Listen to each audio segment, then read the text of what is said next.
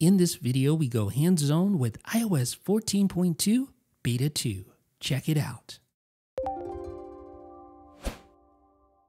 How's it going everybody? Jeff Benjamin with 9 to 5 Mac. In this video, we're taking a look at iOS 14.2 Beta 2. So it was a little under two weeks ago when we looked at the initial iOS 14.2 beta, but now we're looking at Beta 2, and Apple seems to be continuing to refine the AirPlay 2 interface in the control center. So, just like in Beta 1, you have this new interface that shows recently played music if you're not currently playing music. So, this makes it easy to quickly select a song or select a podcast that you would like to begin playback right from this interface.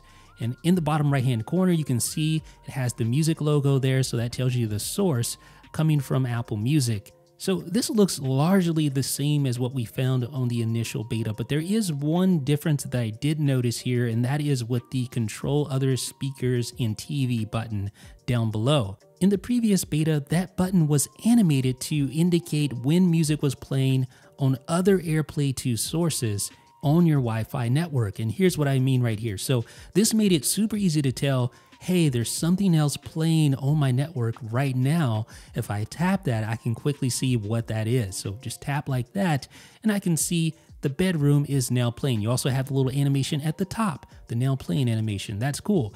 But you don't get that here on this second beta. You just get a sort of like a generic button. There's no animation.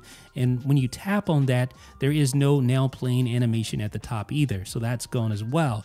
You do still see all of your AirPlay 2 destinations, but it's decidedly a little less whimsical, a little less informative at first glance, and just a lot less fun without those animations. What do you guys think? Do you think I'm being a little bit nitpicky here? Do you think it's being overly dramatic about something so small.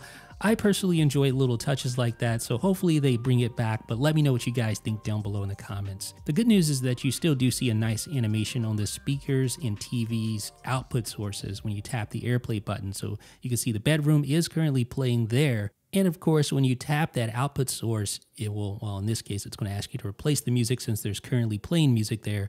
But now I output to the bedroom, and then it gives you the option to output to multiple sources with those little radio buttons there. So I can select multiple outputs. And of course, I can control the, the volume of both of those outputs either at the same time or independently by tapping the disclosure triangle that appears to the left. So it sort of minimizes it, and then you can open it up like that and control each speaker independently. And if I disable AirPlay playback to those sources and I switch back over to iPhone, just like that. And, and pretty intuitive, pretty easy to, to get the hang of this after a little bit of practice.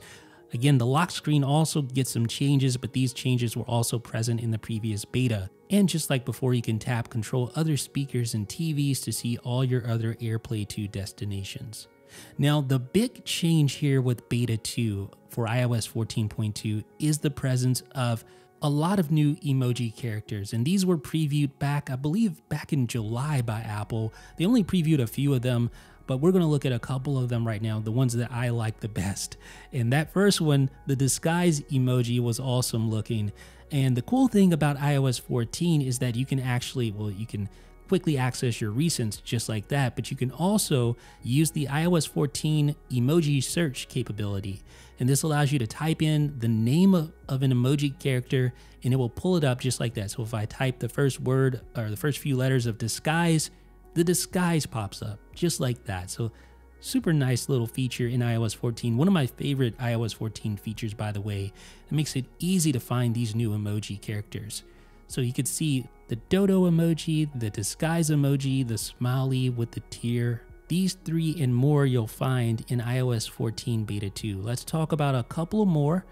Uh, so we're going to go in here and search for Ninja. There is the new Ninja emoji. And let's search for another. How about bubble tea? Type bubble tea. There we go. And that reminds me, I have to admit, I've never actually had bubble tea.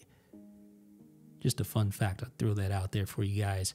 And you also have the new boomerang emoji.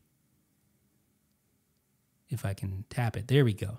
And lastly, in the wallet app for the Apple Card, you're going to find a new year tab which allows you to switch over to yearly card activity. So, what do you think about iOS 14.2 Beta 2?